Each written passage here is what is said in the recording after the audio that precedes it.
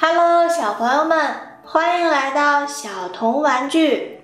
在今天的故事里，熊大藏在了哪里呢？在评论里告诉我答案吧。一天早上，超级飞侠乐迪来找熊大玩儿。咱们玩个什么游戏呢？不如玩一个捉迷藏怎么样？好久没玩了。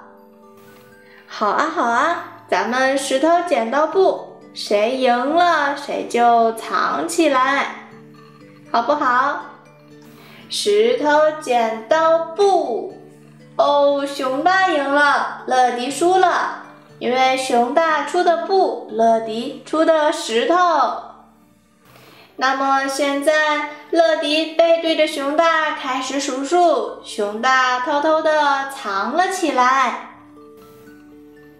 五、四、三、二、一，我来抓人喽！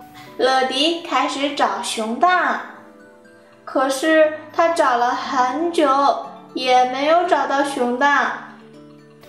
不知不觉都到了中午了，熊大到底藏在哪里了？这个时候，汪汪队的阿奇从这里路过，看到了乐迪。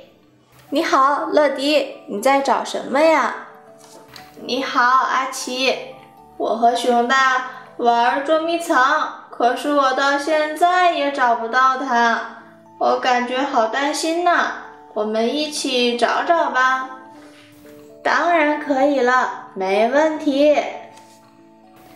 阿奇用他敏锐的嗅觉，在水缸附近闻到了熊大的气味。他们打开水缸一看，哦，熊大正在水缸里面吃果子呢。熊大看看乐迪，看看阿奇，很不好意思的笑了。哎，不好意思啊，真是对不起。我看这里有好多果子吃，就一直在这吃，忘了捉迷藏的事儿了。乐迪和阿奇看到熊大的样子，哈哈的笑了起来。小朋友们，故事讲完了，你们有答案了吗？